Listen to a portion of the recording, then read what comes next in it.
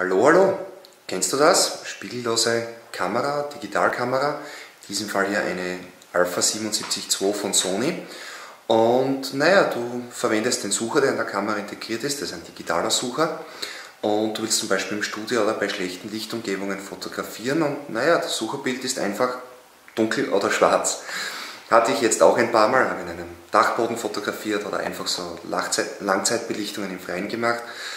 Und das war einfach nervig. Wenn man äh, Kameras gewohnt ist mit äh, optischen Sucher, also keinem digitalen oder Pentaprisma oder sonst irgendetwas, äh, ist das einfach, soll ich sagen, lästig störend. Man sieht einfach nicht, was man fotografiert. Kleine Abhilfe, das ist einfach der Live-View-Modus. Den gibt es hier in zwei Einstellungen, zumindest hier bei dieser Sony. Ansonsten zieh dir bitte dein Handbuch von deiner Kamera durch oder sieh bitte in deinem Handbuch von deiner Kamera nach. Und zwar dieser Live-View-Modus hat zwei Einstellungen. Einmal so wie die Kameraeinstellungen sind, zum Beispiel Studiofotografie, ISO 200, 125 Verschlusszeit und Blende 11, keine Ahnung, dann ist es einfach zappenduster.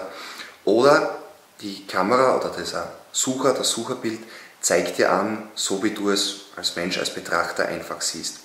Ich habe gerne diesen Live-View-Modus aus, denn ich will ja den Bildausschnitt wählen und so weiter und sehe ja dann, wenn ich den Auslöser gedrückt, gedrückt habe, wie das Bild dann final aussieht.